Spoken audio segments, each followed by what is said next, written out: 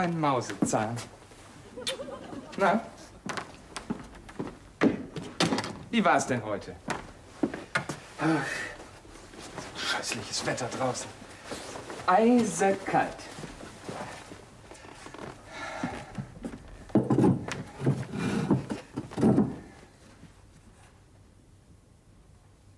Hey, was ist denn?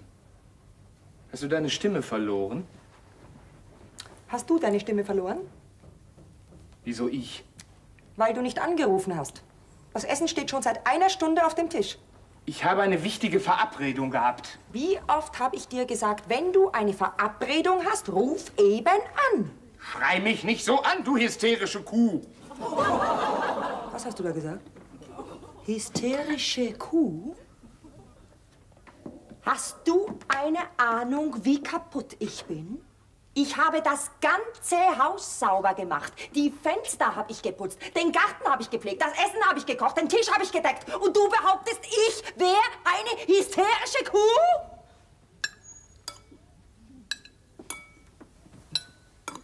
Hast du Hunger? Ja, sicher. Hier hast du erst mal ein paar Kartoffeln. Okay. Mein Schatz.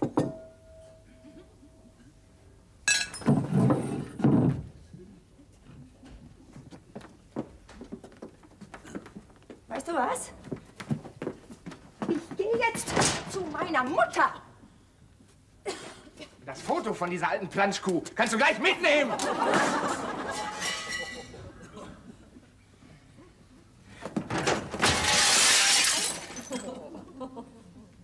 Da kannst du mal sehen, was deine hysterische Kuh alles kann.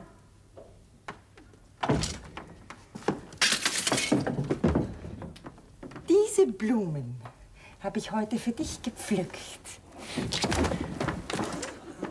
Und hier könntest du in diese Vase ein bisschen Wasser nachfüllen.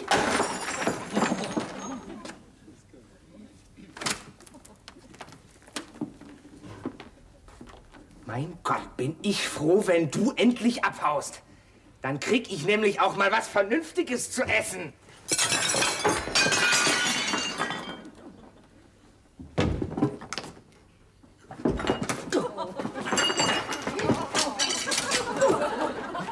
Du! Ja, komm, hau doch zu. Du! Komm, hau zu, komm, komm. Du! Eheberatungsstelle Bochum, guten Tag.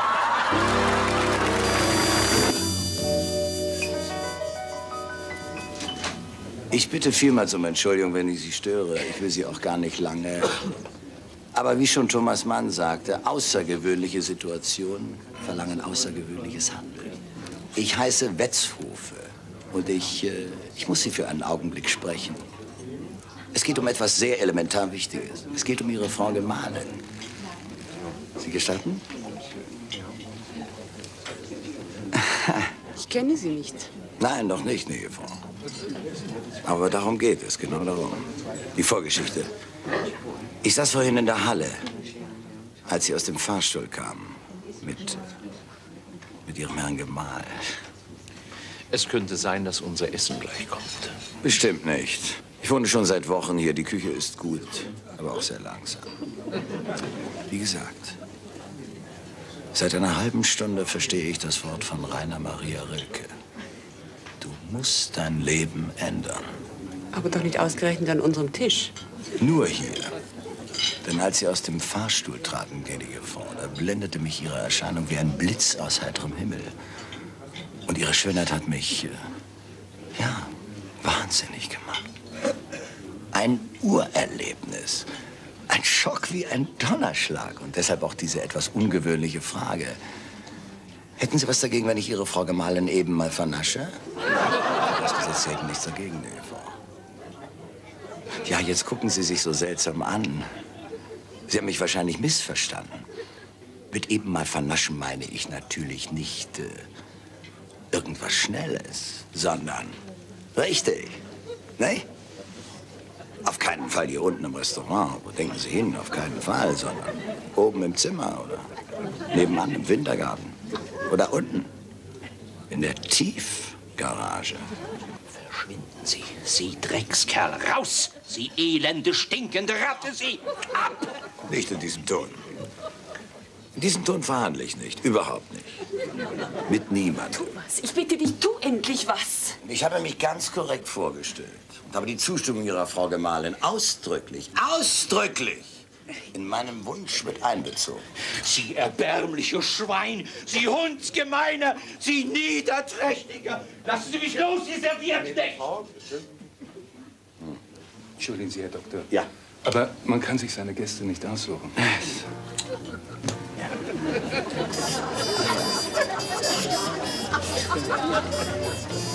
Was schwer, diesen Tisch zu kriegen? Es geht.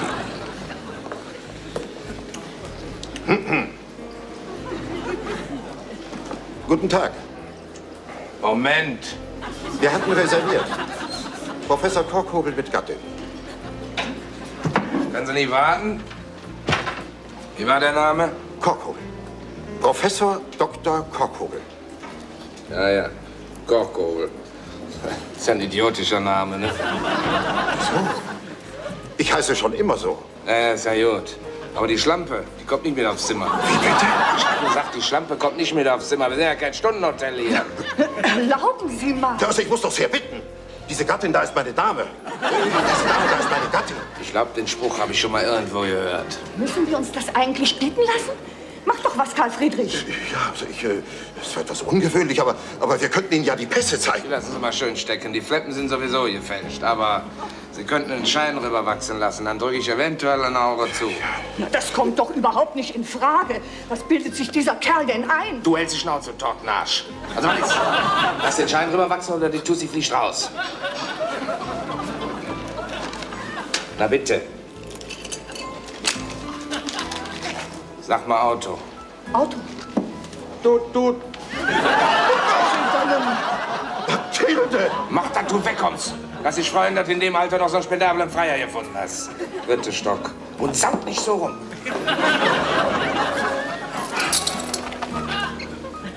Alle Schweine. Und alle in dem Alter. Robinson und Hansen, die beiden Innenverteidiger vom FC Liverpool, dann Souness. Rechts bietet sich Sam Na? Der Scheiß Spiel. Die kriegen und kriegen die Beine rein. Da, rechts steht einer frei. Der will das nicht, das Böff Wer will was nicht? Draußen sitzt ja nur ein Arsch. Und der will nicht fressen. Er sagt, es sei verkocht und kalt und schmecken tut's nach gar nicht. Das ist ein Bœuf Bourguignon. Er sagt, er kennt Böff Bourguignon. War der denn schon mal bei uns? Er sagt, er kennt es von woanders her. Interessant. Hat keinen Bock, die Pfeife, was? Also die Engländer deuten in dieser Anfangsphase die ersten sechs, sieben Minuten an. Toll. Alte Herren. Voll. So, dann wollen wir unseren Gast mal klar machen, was es heißt, bei so einem Spiel ins Restaurant zu kommen. War da nicht noch Rosenkohl von gestern? Rosenkohl von gestern. Der müsste. Moment. Rollt. Hat ihn schon.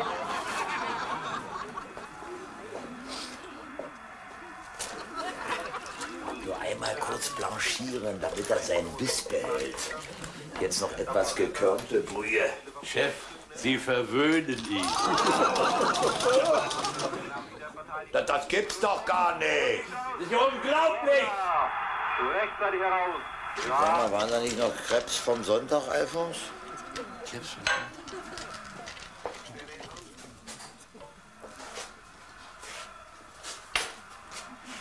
Guck dir das an! Guck dir das an! Mann, oh Mann! Das war knapp. Und jetzt noch was zum Verfeinern.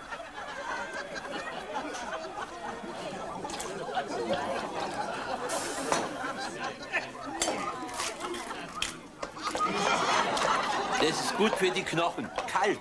Streng biologisch. Ein blauer Brummer in meiner Küche, so ein Schwein!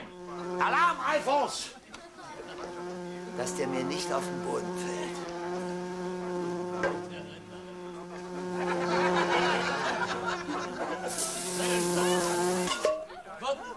Volltreffer, Chef. Kann ja nichts sagen, da wäre nichts Knackiges drin. Mit reichlich Proteinen.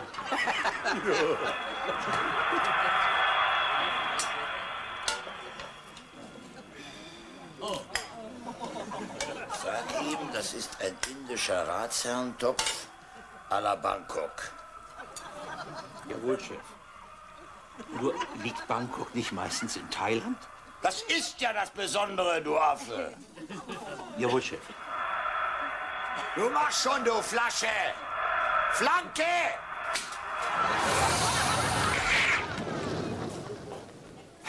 Scheiße, der ist hinüber. Jawohl, Chef.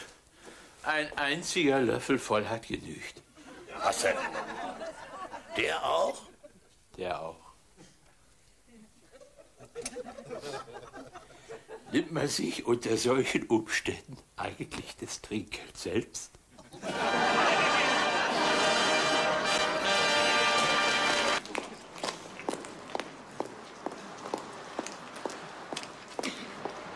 Ding, was die Weiber von heute alle zeigen, ne? Ja.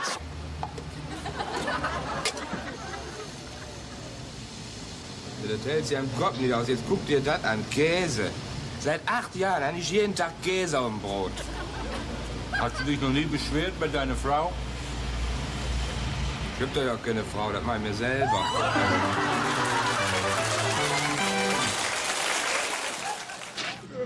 Meister, wie spät ist es denn? Eine Minute vor zwölf.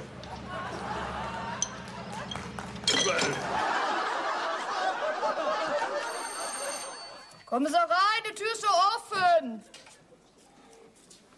Tag, Frau Pasolaki. Guten Tag.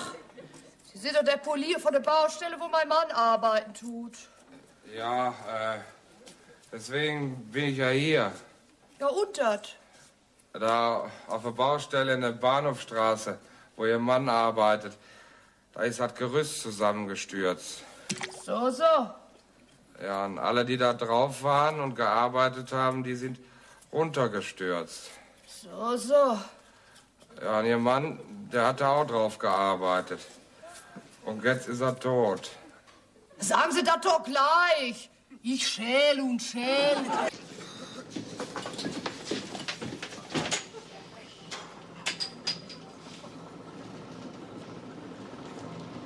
Kontrolle, die Fahrtausweise bitte.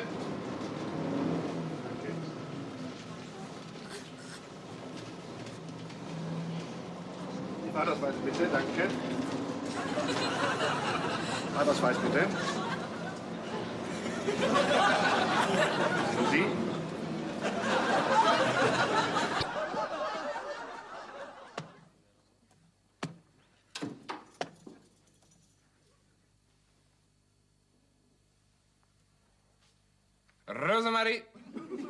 Ja, Daddy. komm mal rein. Ich kann's erklären, Daddy. Das interessiert mich nicht. Ich will nur wissen, weißt du, was wir immer besprochen haben? Ja. Und Ich verstehe nicht, Daddy. was haben dein Vater und deine Mutter dir immer gesagt? Ach so, doch mit der Schande. Richtig. Dann wiederhol es. Ihr habt gesagt, ähm, ah ja, ihr habt gesagt, jeder Mann will nur das eine, mein Kind. Erst lädt er dich ins Kino ein, dann in ein Lokal und dann zeigt er dir seine Briefmarkensammlung. Dann bringt er Schande über dich, deinen armen Vater und deine arme Mutter. Genau. Und? Was und? Ja, du warst doch heute Abend mit diesem Uli weg. Ja. Ja, genauer. Er hat mich ins Kino eingeladen. Aha. Dann sind wir zusammen ins Glühwürmchen gegangen und haben gegessen und getanzt. Aha. Da bin ich mit Uli nach Hause gegangen und da hat er mir seine Briefmarkensammlung gezeigt. Aha. Und was ist dann passiert? Daddy, ich habe keine Schande über dich gebracht. Gott sei Dank. Braves Kind. Ich habe ihn ins Bett geschubst und dann habe ich Schande über ihn gebracht. Seinen Vater und seine arme Mutter.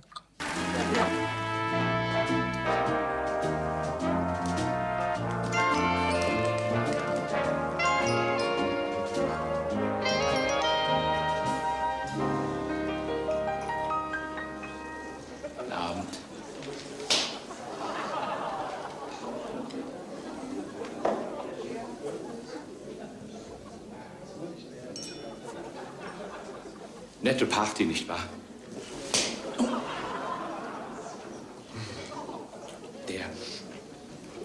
Der Wein ist gar nicht so schlecht, oder?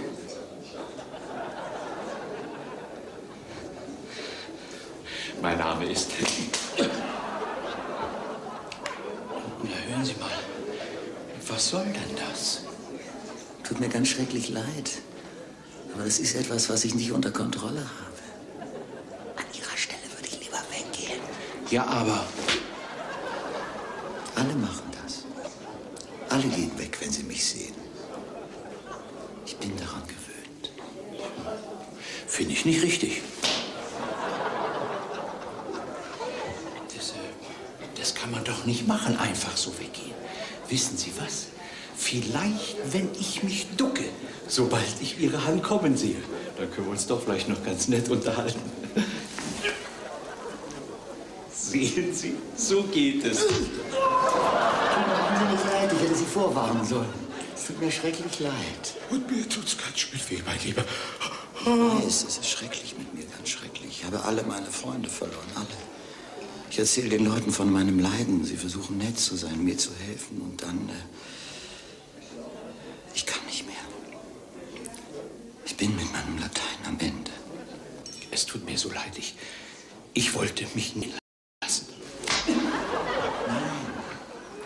Ich lasse Sie gehen, gehen Sie. Unterhalten Sie sich woanders. Ich werde schon durchstehen. Sie können mir nicht helfen. Niemand kann mir helfen, niemand. Aber es muss doch irgendetwas geben.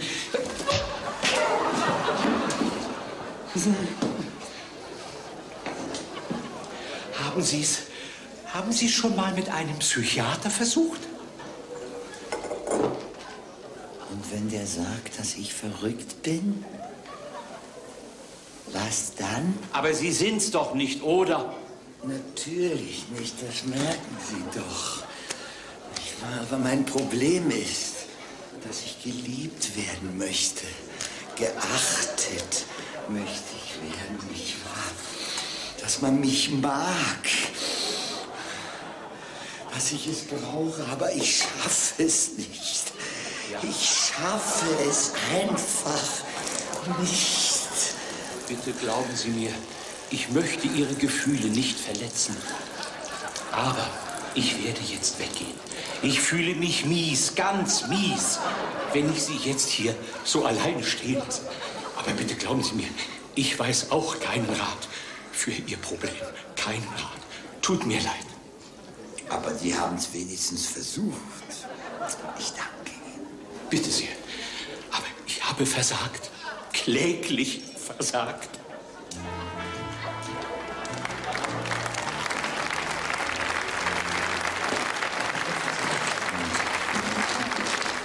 Hallo Hansi. Mensch, Günther. Das war vielleicht ein Ding. Ich habe schon gedacht, ich werde ihn überhaupt nicht los.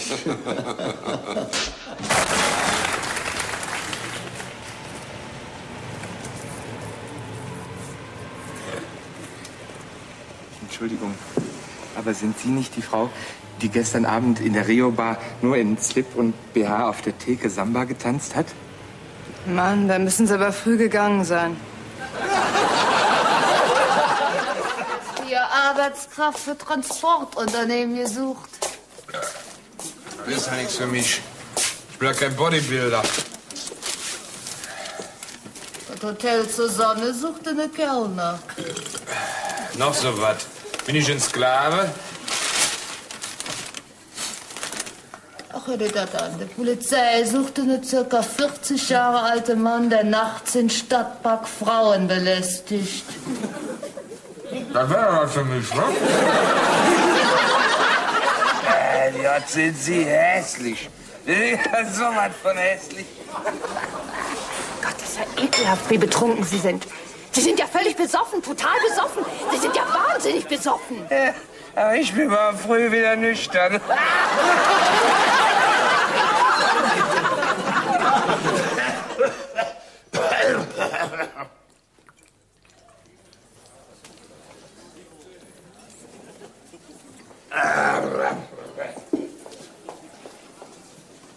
Christel, Ja, Horst. es tut mir leid. Aber ich fürchte, wir müssen mal ich kann ihn nicht mehr ertragen.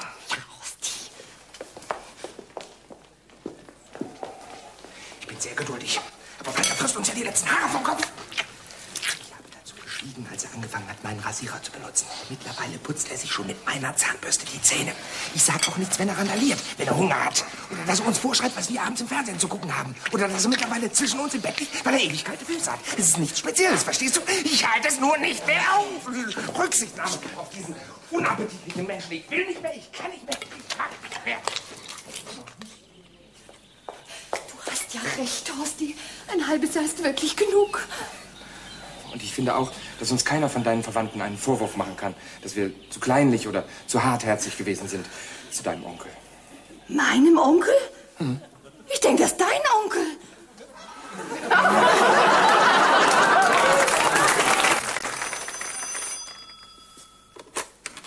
Hotel Bayernhof, guten Tag. Kiesewetter, guten Tag. Äh, wann macht denn Ihre Bar auf, bitte? Unsere Bar ist vormittags geschlossen. Sie öffnet erst um 16 Uhr. Ah ja, vielen Dank.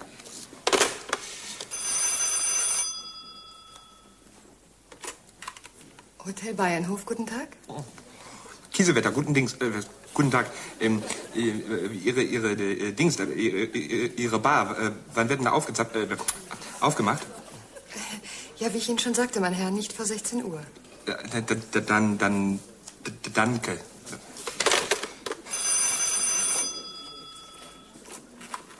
Hotel Bayernhof, guten Tag. Ja, hier ist, hier ist Kiesel.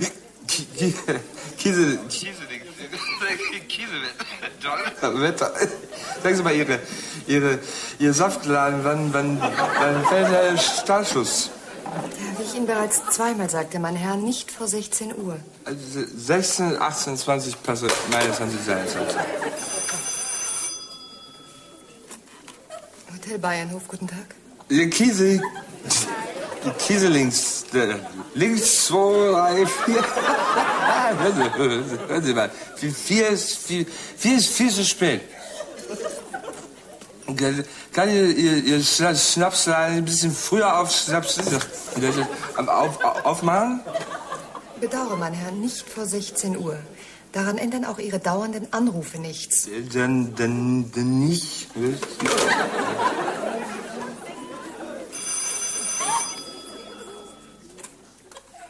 Hotel Bayernhof, guten Tag. Das ist- Sagen Sie mal, wann machst du eigentlich Ihr Fliss... Ihr Fliss... Ihr Flaschfriedhof, wann, wann- machst du eigentlich auf? Sie, Sie, Sie Strippmulen, Sie. Sie, Also, Sie, Sie können nämlich jetzt mit Stripp... Strapp... Stroll... Kiesewix mir erzählen, wenn Ihre Pinsel aufmacht. Mein Herr, und wenn Sie noch tausendmal hier anrufen, Sie kommen nicht vor 16 Uhr in unsere Bar hinein. Ich will gar nicht rein. Ich will raus. Na, Kleiner, ist deine Mutti da? Entschuldigen Sie einen kleinen Scherz, ja. Aber Humor muss ja auch mal sein. Mein Name ist Havelock. Und ich habe gehört, dass in diesem Hause Geist und Niveau, Intellekt und Wissen ganz besonders gepflegt werden. Aber wie lautet da das große Dichterwort? Wer viel schon weiß, wird alles wissen wollen. Und dazu könnte Ihnen dieses Lexikon verhelfen. Eine 30-bändige Exklusivausgabe, die Sie, auch wenn sie sich noch so viel Mühe geben würde, nirgendwo im Buchhandel erwerben könnten. Also, aufgepasst. Wussten Sie schon, dass der Balkaschsee in Sibirien eine Oberfläche von 18.331 Quadratkilometern hat? Ja. Gut. Wussten Sie schon, dass der Yangtze-Kiang in China eine Länge von 5440 Kilometern hat? Ja. Gut. Wussten Sie schon, dass der höchste Berg Südamerikas der Ilampu ist mit 6973 Metern? Nee. Aber ich glaube, da irren Sie, Meister. Der größte Berg Südamerikas ist der Aconcagua. Und der ist noch 31 Meter höher als der Ilampo. Oder, Elchen? Nee, der höchste in Südamerika ist der Cotopaxi, wa?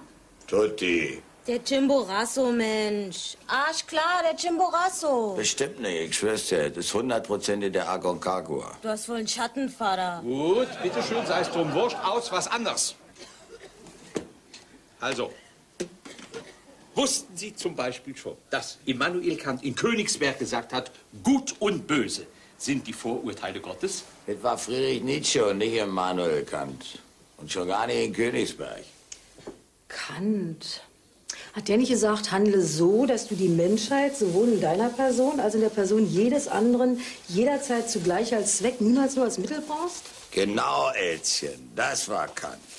Gerade heute Morgen habe ich mich mit Frau Klumpke darüber unterhalten. Frau Klumpke? Man wollte die nicht die Existenz einer vierten Dimension grafisch nachweisen? Wollte sie, hat sie auch? Wollte sie nicht, jedenfalls nicht ernsthaft. Sie war nur an meine Thesen zu diesem Problem interessiert. Neugierde, Alternis. Lassen wir mal diese blöden Quizfragen, ja? Hier bringen wir uns dem Praktischen zu. Wie viel sind 17 Grad Fahrenheit in Reaumür? 16,8. 120? 39,1. 160? 56,8. Scheiße. Nennen Sie den Namen der Zwergaffenart, die am oberen Amazonas lebt, mit weiß-pflaumigen Haarpinseln an den Ohrrändern und die sich vorwiegend von Früchten, Insekten und kleinen Vögeln nährt. Weißohr-Krallenaffe. Schnauze. Dann schmeißen wir nicht gleich die Flasche in den Korn, ja? Wenn meiner Tochter das Ding gefällt, nicht? Dann kaufen wir es vielleicht doch noch. Ist gar nicht so schlecht. Hier steht zum Beispiel astrein und glasklar. Hm. Eugen Theodor Filbert, Professor Dr. Phil. Ja, Dr. Renat. Dr. Reapol. Und dann ist da noch ein sehr anständiges Foto von dir drin. Sag mal. Na sehen Sie. Aber leider steht hier, du hättest den Nobelpreis erst 76 gekriegt statt 74. Was? Dann ist das ein Scheißlexikon.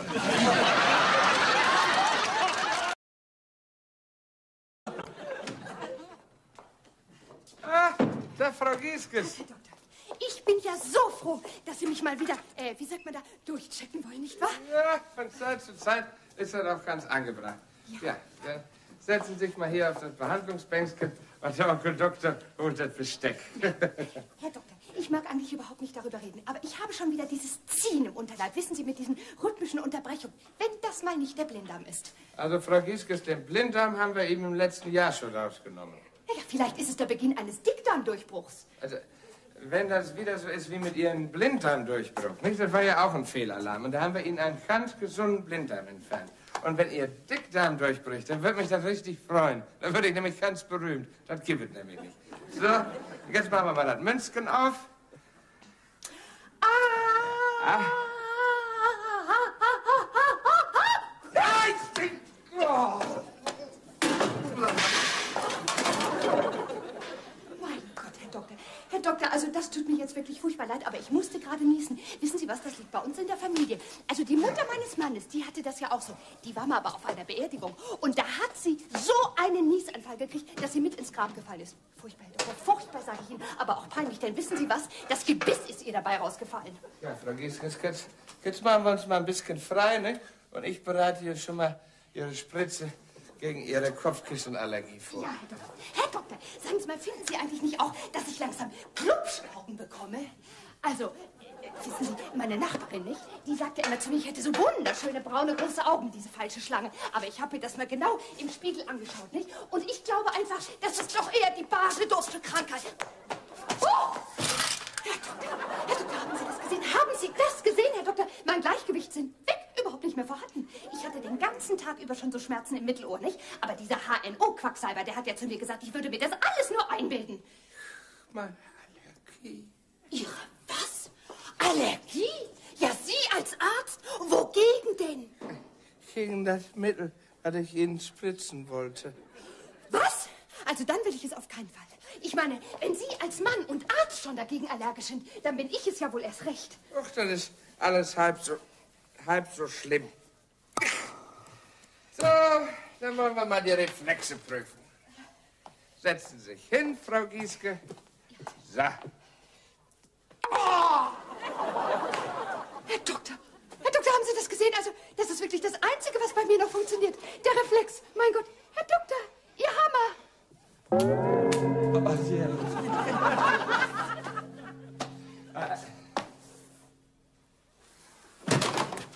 Herr Doktor, suchen Sie etwas?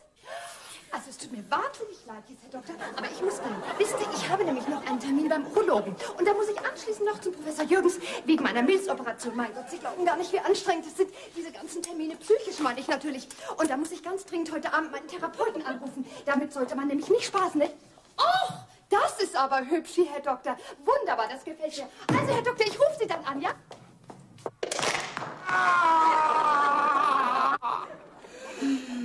Also, Herr Doktor, Sie sehen aber gar nicht gut aus. Sie sollten unbedingt mal zu einem Arzt. Guten Abend, die Herrschaften. Ihr Kamillentee, bitte. Um Himmels Willen, Liebling, setz die Sonnenbrille auf und leg dich wieder hin. Das ist jetzt meine Sache. Also Ihr Tee, ja? Wie kommen Sie hier rein? Mit dem Etagenschlüssel. Ich habe nicht hereingerufen. Das macht nichts. Ich habe auch gar nicht geklopft. Wissen Sie, bei Kamillentee, nein. Wenn Sie Sekt bestellt hätten oder später in der Nacht noch Champagner, nicht wahr? Das ist klar. Dann klopft man, wartet ab. Aber wenn jemand Kamillentee bestellt, dann ist er meistens so leidend und man will ja die Leute nicht unnötig erschrecken. Äh, Verschwinden Sie. Ja, recht gern. Wenn Sie das noch mal hier eben, kleinen Moment mal, unterschreiben würden. Ich habe nichts bestellt. Na, aber hier steht doch 237. Moment mal, Zimmer 237. Ja, Sie haben ein Kännchen Kamillentee bestellt. Wir haben ja auch die Portionsgläser, aber Sie haben extra ein Kännchen Ich bestellt. habe gar nichts bestellt. Aber geben Sie her und dann verschwinden Sie. Kugelschreiber. Ja, kleinen Moment mal bitte, ja. Äh, ja, Sie haben wirklich nichts bestellt. Nichts, nein. Dann würde ich das auch nicht unterschreiben. Kommt mir doch nicht auf den Kamillentee an. Mir auch nicht, aber es geht um das Prinzip und das ist bei uns das Mädchen, das hier nachts das Telefon bedient, nicht wahr? Da ist nämlich, da ist nämlich der Zimmerservice auf die Zentrale geschaltet und da passiert immer sowas, weil das Mädchen nichts weiter im Kopf hat als lauter was anderem. Die hat da einen Freund, der lungert da immer rum und dann passiert sowas. Geben Sie mir bitte den Kugelschreiber. Nein, nein, nein, es möchte ich nicht, dass ein Gast für etwas bezahlt, was er gar nicht will, nicht wahr? Ich habe mich schon so oft beschwert, aber das nützt gar nichts. Die Gäste müssen hier mal richtig auf den Putz hauen, anständig, dass die Fetzen fliegen. Bitte. Sehen Sie mal, es geht ja nicht um mich, nicht? Aber ich komme hier reingeplatzt, völlig unverhofft mit dem Kamillentee, denke, vielleicht leiden Sie gerade. Guten Abend. Ich meine, ich tue die ganze Zeit so, als hätte ich die Situation nicht kapiert. Dabei habe ich da den Minister sofort erkannt mit seiner Sonnenbrille. Unser einer ist ja auch nicht ganz doof. Sie sollten ja als Dame mal richtig auf die Pauke hauen, besonders wenn Sie mit so feinen Kreisen verkehren. Reichen Sie mir mal bitte meine Tasche hier rüber. Tasche, ja, bitteschön, die Frau, bitte sehr. So. Das ist für Sie. Bezahlen Sie damit den Tee und verlassen Sie uns jetzt. Ja, bitte. Äh, danke, ja. Schade, dass Sie nicht auf die Pauke hauen wollen. Ich schließe ab, vorsichtshalber. So.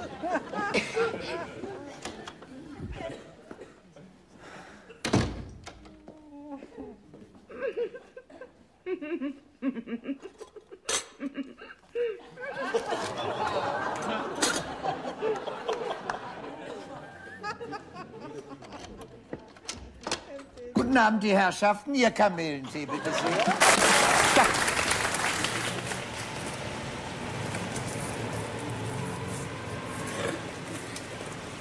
Entschuldigung, aber sind Sie nicht die Frau, die gestern Abend in der Rio-Bar nur in Slip und BH auf der Theke Samba getanzt hat?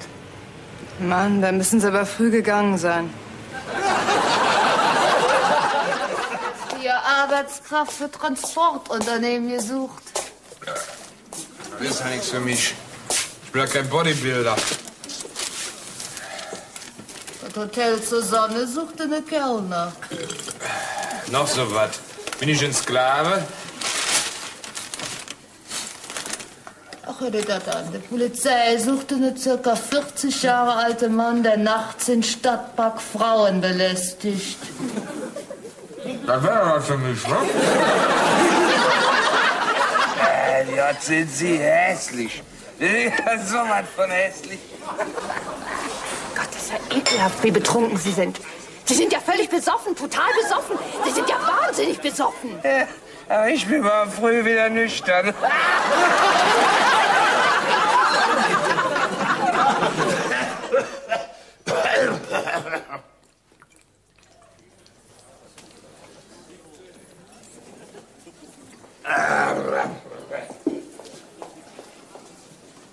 Christel, Ja, Horst. es tut mir leid. Aber ich fürchte, wir müssen mal über Onkel Walter reden. Ich kann ihn nicht mehr ertragen. Ja, Horsti. Ich bin sehr geduldig. Aber Walter frisst uns ja die letzten Haare vom Kopf. Geschieden, als er angefangen hat, meinen Rasierer zu benutzen. Mittlerweile putzt er sich schon mit meiner Zahnbürste die Zähne. Ich sag auch nichts, wenn er randaliert, wenn er Hunger hat. Oder dass er uns vorschreibt, was wir abends im Fernsehen zu gucken haben. Oder dass er mittlerweile zwischen uns im Bett liegt, weil er ewig kalte Füße hat. Es ist nichts Spezielles, verstehst du? Ich halte es nur nicht mehr auf. Rücksichtnahme auf diesen unappetitlichen Menschen. Ich will nicht mehr, ich kann nicht mehr, ich mag nicht mehr. Du hast ja recht, Horsti. Ein halbes Jahr ist wirklich genug. Und ich finde auch, dass uns keiner von deinen Verwandten einen Vorwurf machen kann, dass wir zu kleinlich oder zu hartherzig gewesen sind zu deinem Onkel.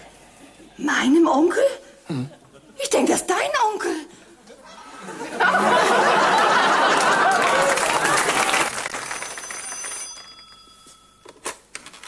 Hotel Bayernhof, guten Tag. Kiesewetter, guten Tag. Äh, wann macht denn Ihre Bar auf, bitte? Unsere Bar ist vormittags geschlossen. Sie öffnet erst um 16 Uhr. Ah ja, vielen Dank.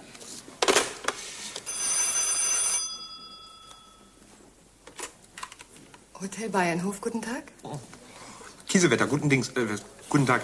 Ähm, äh, ihre, ihre, äh, Dings, äh, ihre, ihre Bar, äh, wann wird denn da aufgezappt, äh, aufgemacht? Ja, wie ich Ihnen schon sagte, mein Herr, nicht vor 16 Uhr. Dann, dann, d- d- danke.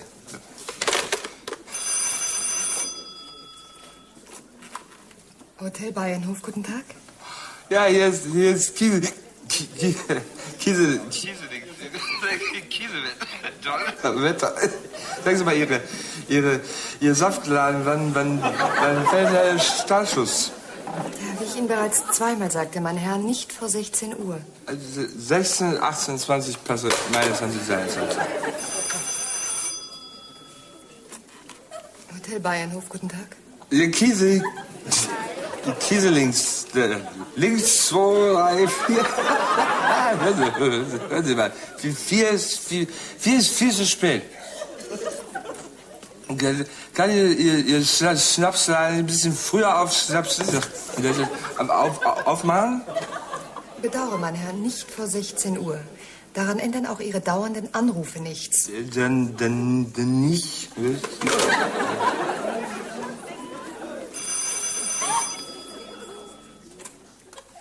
Hotel Bayernhof, guten Tag.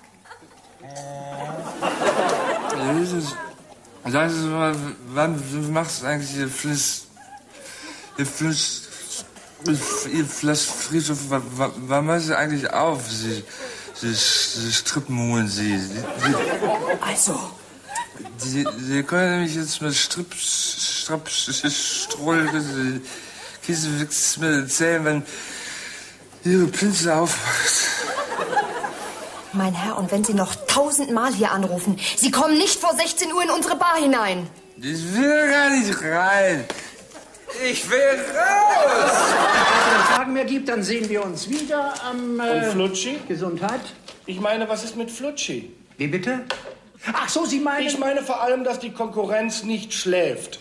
Süßholz und Erben bringt, und das wissen Sie, meine Herren, noch vor der Sommersaison das Eisbonbon Grönland auf den Markt. Und da erwartet der Verbraucher von uns eine klare Antwort. Und Sie meinen... Ich meine, dass wir als innovativer Süßwarenhersteller die Herausforderung qualitativ annehmen müssen und endlich den Markt mit dem bereits andiskutierten Lutschfruchtbonbon Flutschi penetrieren müssen. Ich muss doch Aha, und deshalb? Deshalb hat ein Marketingkonzept für Flutschi allerhöchste Priorität. Wenn wir die nach den Einbrüchen bei den Paderborner Kokanthäppchen verloren gegangenen Marktanteile reaktivieren wollen. Ich frage Sie deshalb, meine Herren, was kann, soll und muss ein modernes Lutschfruchtbonbon leisten? Es muss schmecken. Das sind gesicherte Erkenntnisse darüber, welchen Stellenwert das Lecken in unserer heutigen Leistungsgesellschaft hat und wo wir für das Lutschen noch Marktnischen auslutschen, ausmachen können. Das heißt, differenzierter gesagt, Es muss schmecken. Die Marketingabteilung hat sich alle diese Fragestellungen schon seit geraumer Zeit zu eigen gemacht. Unsere Analysen haben ganz eindeutig ergeben, bis zum vierten Monat und ab dem 109. Lebensjahr lutscht der Deutsche überhaupt kein Bonbon. Ach was! Diese Klientel scheidet deshalb nach unserer Überzeugung als Zielgruppe für Flutschi völlig aus. Dennoch sehen wir die Marktchancen durchaus positiv, denn wir wissen heute, dass nicht weniger als 3,26 Prozent der Konsumgüter in der Bundesrepublik gelutscht werden. Das ist ja phänomenal. In diesem Marktsegment haben wir realistische Expansionschancen, während beispielsweise die Hersteller von Staubsaugern, Schnürsenkeln oder Überseeschiffen praktisch nicht ins Gewicht fallen. Aha. Und Sie meinen? Ich meine, das Lutschbonbon, genauer gesagt, die Einstellung zum Bonbon als Lutschbonbon. Frucht! Frucht? Fruchtbonbon. Flutschi ist ein Lutschfruchtbonbon. Ja, ja, die Hauptsache Es muss schmecken. Das sagte ich ja, ein Fruchtbonbon zum Lutschen. Nein, nein, Sie sagten Lutschbonbon. Ich habe es ganz genau gehört. Sie sagten Lutschbonbon. Es muss aber heißen Fruchtlutschbonbon. Lutschfrucht. Lutschfrucht? Flutschi ist kein Fruchtlutschbonbon, sondern ein Lutschfruchtbonbon. Und es muss schmecken. Also ist Fruchti ein lustiges Flutschbonbon ungefähr wie ein Drops. Genau. Aber ich bitte Sie, als Marketingleiter dieses Unternehmens kann Ihnen doch gar nicht entgangen sein, dass Lutschen in Lübeck etwas anderes bedeutet als Lutschen in Landsberg. Ja, und? Was heißt das ja und? Ach, wissen Sie was? Lutschen Sie mich doch am Arsch. Und Sie können mich mal im Mondschein beflutschen. Schieben Sie sich doch Ihren klebrigen Hilfslolli sonst wohin, Sie Kalorienpfeife. Und Sie können sich Ihre pappig süßen Ekelbatzen von mir aus auf die Arschbacke schmieren, Sie Kohlehydrat. Leckfetisch. Lutschperversling. Meine Herren! Sie können sich hier meinetwegen in harten Sachauseinandersetzungen begegnen. Sie können emotionell argumentieren. Ja, Sie können das Götz-Zitat aussprechen und auch der darin ausgesprochenen Aufforderung nachkommen. Aber bitte alles unter einer Bedingung. Es muss schmecken. Das muss natürlich